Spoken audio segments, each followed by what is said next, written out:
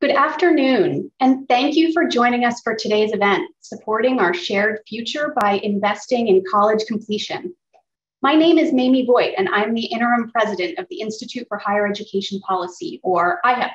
And we are delighted to be hosting today's important conversation alongside our co hosts, the Institute for College Access and Success and Results for America, with support from our friends at Third Way and Unidos US.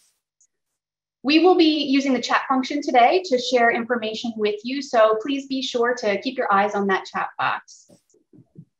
College can be transformational. We know that higher education is a pathway to a better living and a better life, but only if students complete their credential. Putting this another way, to realize the benefits that higher education can provide, students must cross the college finish line. Right now, across America, there are at least 36 million people who have some college but no awarded degree. And students of color and students from low income backgrounds are less likely to graduate than their white and high income peers.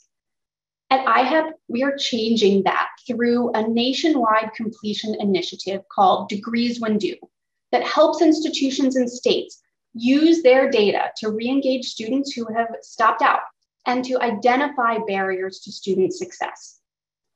Through this work, we know the myriad reasons that students may need to stop out before earning their degree.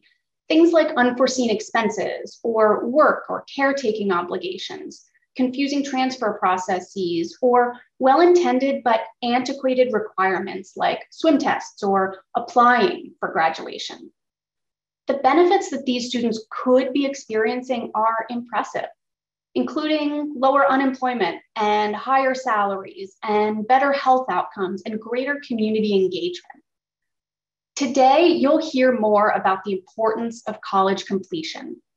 You'll hear directly from a student about how support can be the difference between continuing and needing to stop out.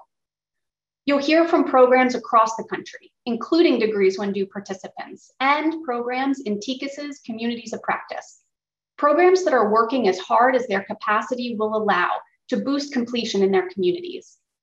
And you'll hear how program capacity, human, financial, and technological, has been stretched beyond thin, particularly since March of 2020. And you'll hear what can happen when we prioritize and invest in college completion. As you tune in, I encourage you to listen for three things our past, our present, and our future. Number one, listen for the history.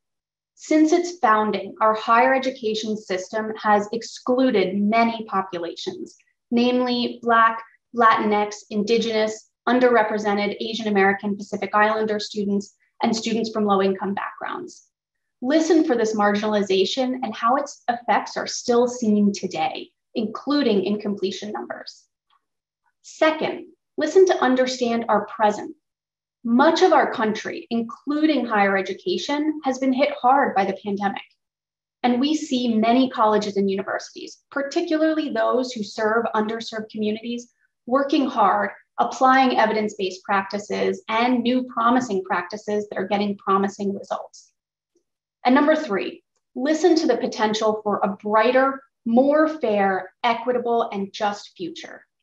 Investing in equity focused and student centered interventions will expand institutional capacity, human, financial, and technological, to support students and, in turn, our shared future.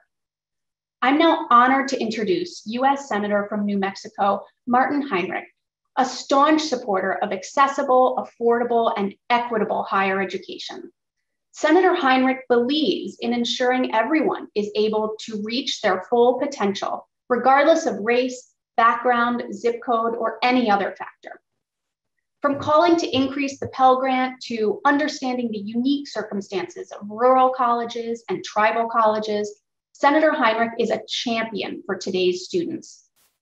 After Senator Heinrich, you'll hear from US Representative from Texas, Joaquin Castro, followed by Representative Mikie Sherrill from New Jersey, three of many across the country who support the College Completion Fund.